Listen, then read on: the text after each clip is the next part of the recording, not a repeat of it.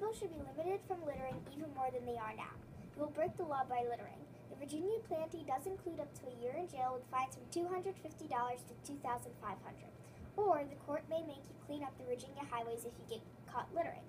But I think the police should do a better job catching people and stopping the littering. You see, first of all, according to Keep America Beautiful, cigarette butts are one of the most common littered items. Each butt can take up to 12 years to break down.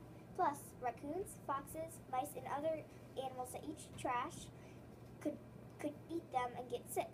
Also, if you don't stomp them out, ashes can blow in the wind and you can breathe it. Secondly, toxic elements can leak into the soil and that is bad for plants. People and animals eat some plants and we could get sick. Small animals may die from eating toxic plants. So, plants will go bad and your garden may stink. Lastly, according to Litter Facts and Myths, litter is just trash in the wrong place.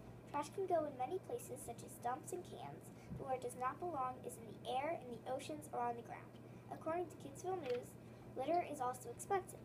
The U.S. is paying over $11.5 billion each year to, to clean litter up from places it does not belong.